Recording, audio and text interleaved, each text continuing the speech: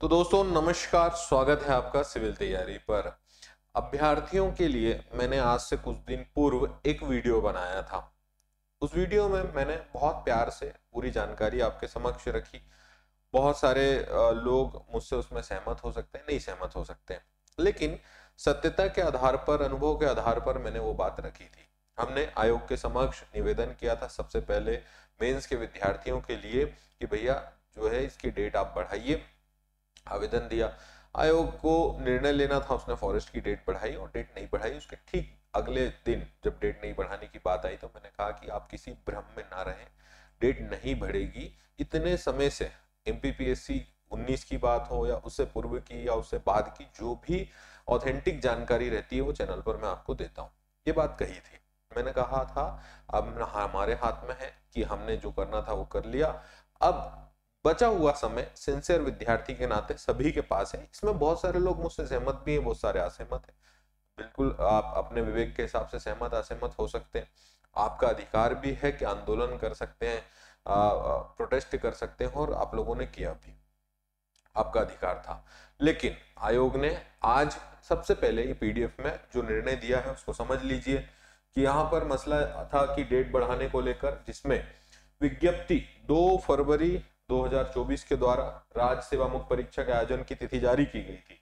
Calendar के हिसाब से उल्लेख किया गया था, लेख है, विभिन्न माध्यमों से परीक्षा तिथि आगे बढ़ाने और यथावत रखे जाने के संबंध में अभ्यावेदन प्राप्त हो रहे हैं, ठीक है?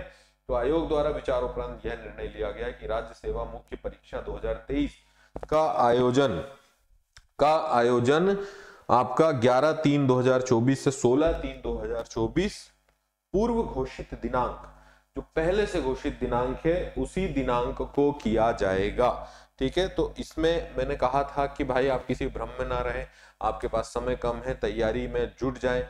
आज की स्थिति में देखें तो आपके पास एक महीना भी शेष नहीं बचता। 11 मार्च, आज 12 फरवरी है और 28 की फरवरी होती है, ये भी आपको ध्यान देना है। बहुत सारे लोगों ने अपनी ऊर्जा, अपने कुछ दिन, दस दिन इसमें गवा दिए। यहाँ पर राज्य सेवा की तैयारी करने जब हम आते हैं तो हमें एक चीज़ ये भी ध्यान रखना चाहिए कि हमारा लक्ष्य क्या है।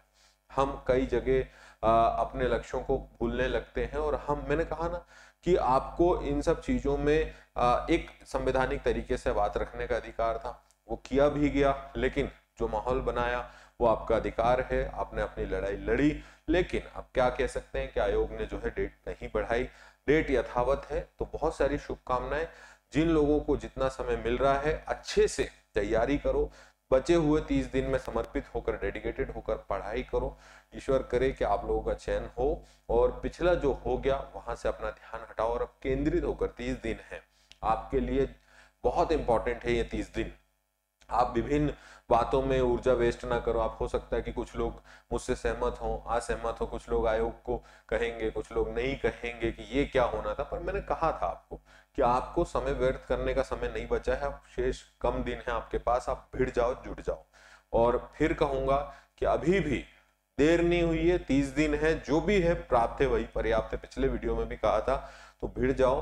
अब आप आंदोलन करना चाहते हो तो आप स्वतंत्र हो, आप जो भी करना चाहते हो, पर यह भी ध्यान रखें कि समय अवधि कम है, परीक्षा विषयों पर भी पढ़ाई करें, आंदोलन में जाएँ, जो भी करें, लेकिन टाइम से अपनी स्टडी कंप्लीट करें, जिस लक्ष्य के लिए आप लेकर चल रहे हैं, उसको पाने के लिए समर्पित होकर, सभी के लिए तीस दिन शेष आप भिड़कर काम करें। बहुत बहुत धन्यवाद।